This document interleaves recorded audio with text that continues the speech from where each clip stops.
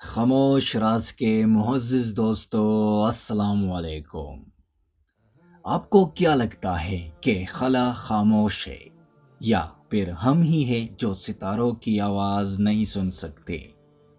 क्यों हम ज़मीन की आवाज़ नहीं सुन पाते जब ज़मीन अपनी मदार में घूमती है?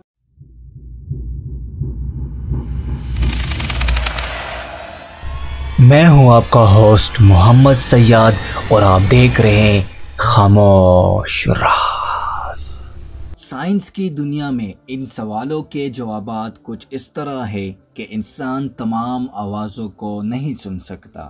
हमारी समात 20 हर्ट्ज से लेकर बीस हज़ार हर्ट्ज के फ्रिक्वेंसी के आवाज़ को सुन सकता है।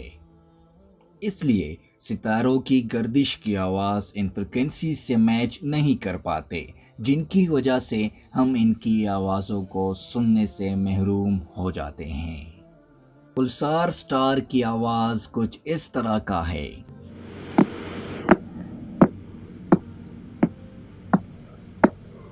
क्या ये आवाज़ सुनकर आपको ये नहीं लगता जैसे कोई दरवाजे पर दस्तक दे रहा है? इन सितारों की आवाज़ को सुनने के लिए मखसूस आलात दरकार होते हैं।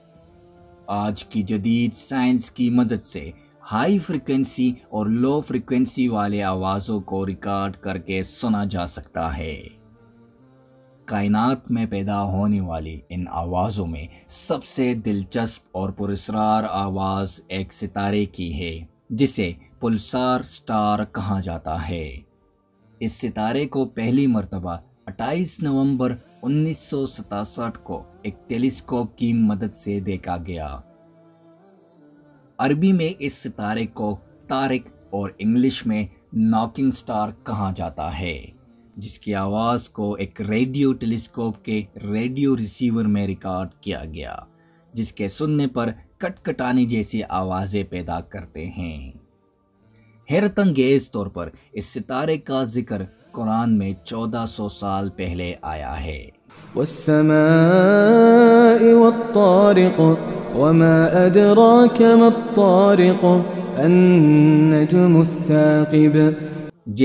कुरान में तारिक का नाम दिया गया है और अल्लाह ने इस सितारे को अतारिक इसके आर पार होने वाली तेज रोशनी की वजह से कहा है।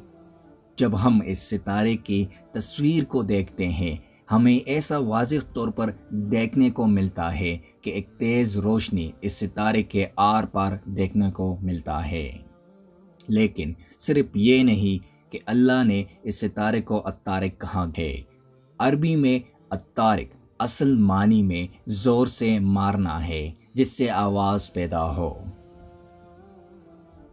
तारिक अरबी लफ्ज़ तर्क से लिया गया है, जिसका मतलब मारने वाला या ज़रब लगाने वाला है। ये लफ्ज़ उस शख्स के लिए भी इस्तेमाल होता है, जो रात की तारीकी में किसी दरवाजे पर दस्तक दे। 1400 साल पहले तारीकी के उस दौर में, जहाँ जहालत हर तरफ़ फैली थी, जो दौर टेक्नोलॉजी से सदियों दूर था, और उस दौर में हज़रत मोहम्मद सल्लल्लाहु अलैहि वसल्लम उस सितारे के बारे में लोगों को बता रहे हैं, जिसका नाम तारिक है। और आज की जदीद साइंस अपने जदीद आलात की मदद से उन अल्ट्रा हाई फ्रिक्वेंसीज को रिकॉर्ड करके लोगों को बता रहे हैं। यह कुरान की सच्चाई का एक बड़ा सबूत है, जो कुरान को अल्लाह की किताब और हज़रत मोहम्मद सल्लल्लाहु अलैहि वसल्लम को अल्लाह का पैगंबर तस्लीम करने के लिए काफ़ी है। मुआज़ दोस्तों, उम्मीद करता हूँ कि आज की वीडियो आपको पसंद आई होगी। वीडियो पसंद आने की सूरत में ज़्यादा से ज़्यादा लाइक और शेयर ज़रूर कीजिएगा। अपनी दुआओं में याद रखिए। अल्लाह हाफिज़।